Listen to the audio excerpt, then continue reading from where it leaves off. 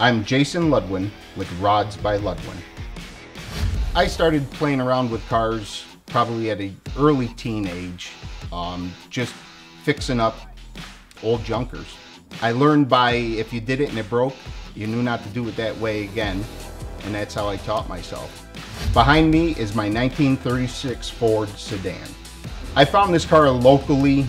I had no vision for the car, but I really liked the styling of it. The only altercation I did to the body was I widened the wheel openings by a few inches so when the 35 inch tires are on it, the wheel opening is the same size as the tire. The front bumper's from a Jeep JL Wrangler supplied by Body Armor 4x4. Up front here we have a 9,500 pound mile marker winch.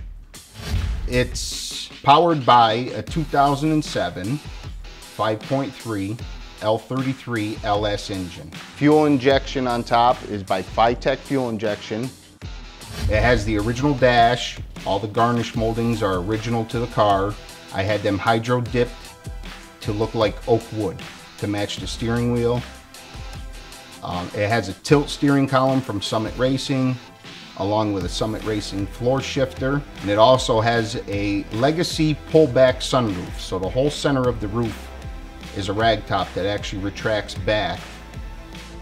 Underneath the original running board is a power rock slide step to help you get in and out of the vehicle. The rear bumper is a body armor 4x4 that is factory for a Jeep Wrangler that I retrofitted onto the rear. Also mounted on the back is a Warn 8,000 pound winch, full LED tail lights and LED reverse lights. Also a spare tire holder for a full size 35 inch tire. All the LED lighting on the rooftop is supplied by Rough Country.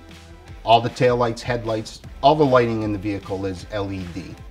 I believe going to SEMA as a business owner and presenting what I build, bringing one of my builds there, actually gets me noticed more and, and gets more people to, to see what I can do.